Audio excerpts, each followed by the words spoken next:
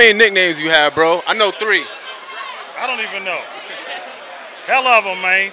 Right now I'm on this uh, Efeasible Belafonte Bellaggiano Bellwether. You understand me? A bellwether is a trendsetter. You understand me? Hello. I heard you got like a book or something to define like all your all your languages. I've been talking about the book forever, man. I ain't never put that book out. we need it. The streets need it. They might soak up my game. Nah, I don't have no problem with them soaking up game, man, because that's what it's there for. But uh, soon, sooner or later, I'll probably do an app.